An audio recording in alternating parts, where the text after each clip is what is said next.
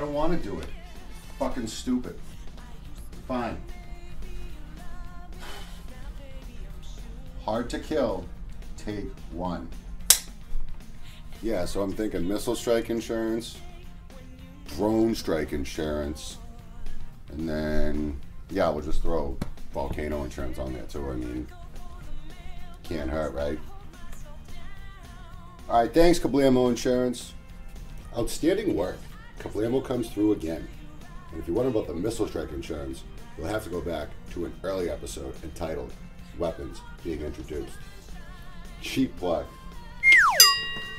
But enough fun for now. The ex-presidents will be back. The ransom was 50000 They have no idea what's even happened to Elmo. So let's give him that call and let him know where the drop's gonna be. Hey boss, it's me, Elmo. Elmo, talk to me. Are there any updates? Yeah, somehow Mr. Above Average. He raised the money.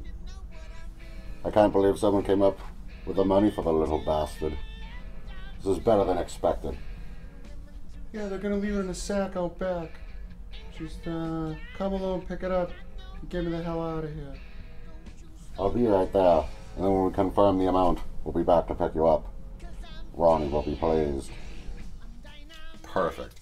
The drop is set, and I'm about to get the drop on the ex-presidents. Just to be safe, I'm gonna grab a weapon. Fake gun or samurai sword. Weapon of choice. Fake gun. Samurai? This ain't Kill Bill, dog. Looking like a straight sketch bag.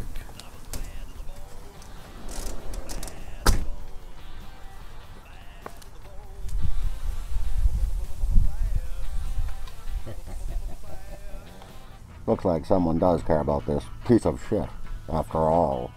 The 50,000 is ours. Now it's time to count it up with the boys. Where's everybody? Johnson. We're styling. Carter. Are you out of your fucking mind? Oh, Ron. I've got Nancy on the line. Oh, Dick. Keep her waiting for me. Now that we're all here, let's take a look inside. Fake money. Not a good start. Marty McFly? License? You've got to be kidding me. Uh-oh. Uh. Right?